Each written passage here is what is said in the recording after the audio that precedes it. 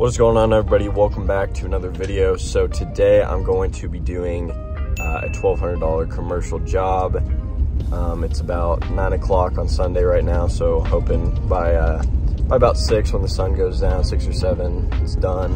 But it's a building, a little bit of flat work. Um, I landed this job through a connection I have and he got a quote and sent it to me from another company and I went a little bit lower and we got it. So if you're not subscribed already, make sure to subscribe. There's some very big things coming with the channel. Um, but with that, I will go ahead and go to the job. All right, so here is the shopping center we're doing. So as far as the building goes, there's just a lot of crap, you know, spider webs, dirt, whatever. Um, this is a test spot I already did just to make sure that just pressure would get that off. Um, but yeah, so it's basically just a whole bunch of that. The concrete as well. Um, it's not super dirty, but there is some organic growth on the concrete. Um, a little bit of rust treatment here and there. I'm gonna use oxalic acid for that. Also, all the windows, uh, we'll be doing that after the after we clean the building. Um, and then right here you can see the uh, downspout is leaking, which has caused some organic growth to build up here. So I'll be using SH on that, but that's pretty much the only place I need to use SH on the building.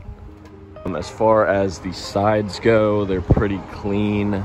Um, just up there, some more uh, more crap, and then and here's the front. Basically the same situation.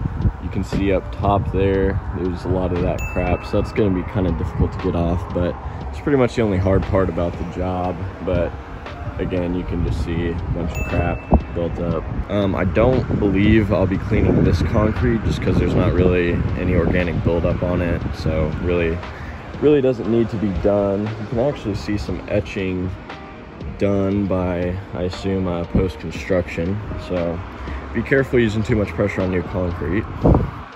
See some more here. Um, and then again over here, just have some crap under the awnings. Um, there's some buildup, or there's some crap right here. Blow all that off. And then um, get rid of this stuff too. It's basically what we're working with. I'm going to start with the building, blow all that off, and then get this concrete done.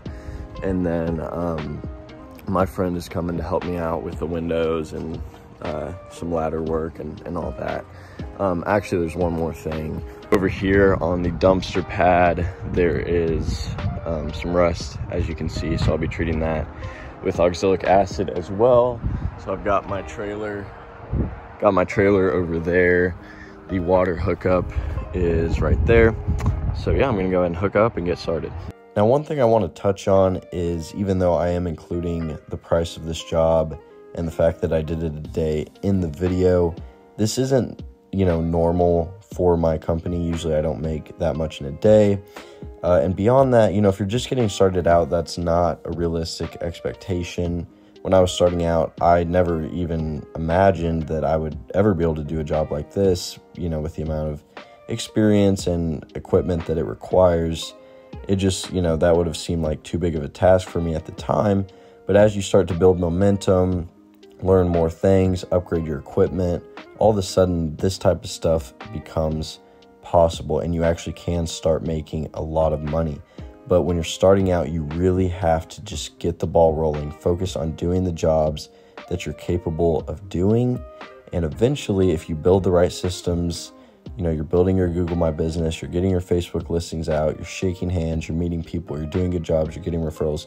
Eventually, you're going to start to have lead flow come in and you can start having days like this as well.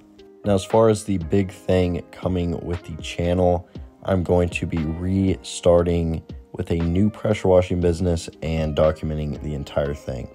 Uh, but anyways, back to the actual job. So you can see me on the roof here. I took this long cobweb duster pole thing and I was able to get all of that off. Basically looked spotless um, just by doing that. And so didn't have to get up there with a pressure washer, thankfully.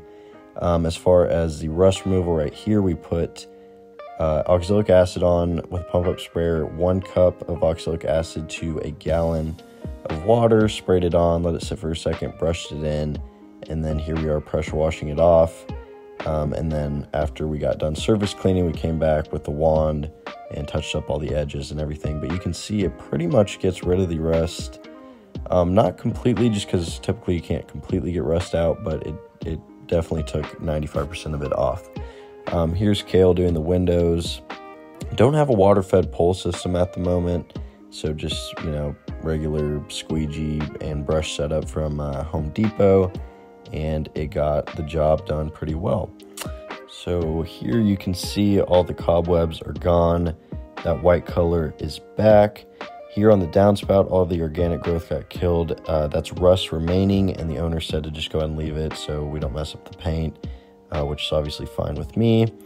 Uh, here you can see the awnings are clean, and also the uh, part where all the cobwebs were, were is clean as well.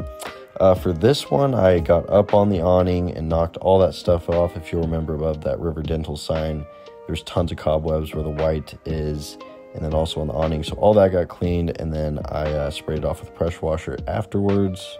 All right, so just wrapped it up. Everything looks good. The uh, property owner already came and saw it. He's happy. Um, so it's now 6.40, so about a nine and a half hour day. Um, Kale came and helped about, um, he probably helped three fourths of the time. Um, and so, yeah, uh, 1200 bucks, full day's work. So yeah, that pretty much wraps up the video. Um, I wasn't able to record everything, which I'm sorry about. I'll try to be better about that in the future, get more content. But don't forget to subscribe, and I will see you guys in the next video.